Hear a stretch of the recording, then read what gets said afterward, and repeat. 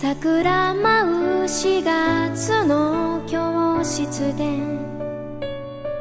波打つ胸を弾ませながら出が上がったと我がの仲間たち。あどけないってかわし。たねあの日かけ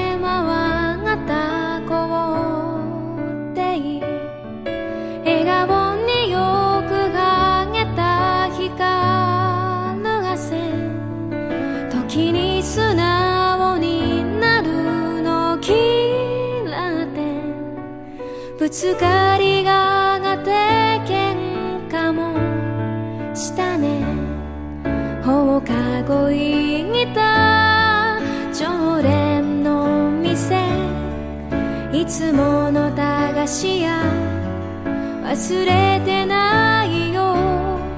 指切りをして交わした約束。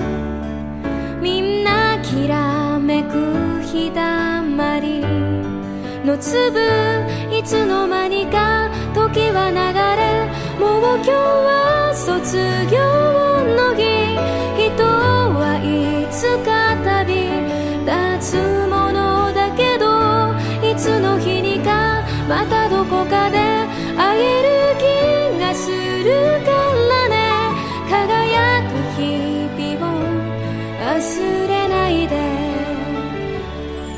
もう開けない教室のドア向かいがえない机もいつも週末にはよく遊んだね。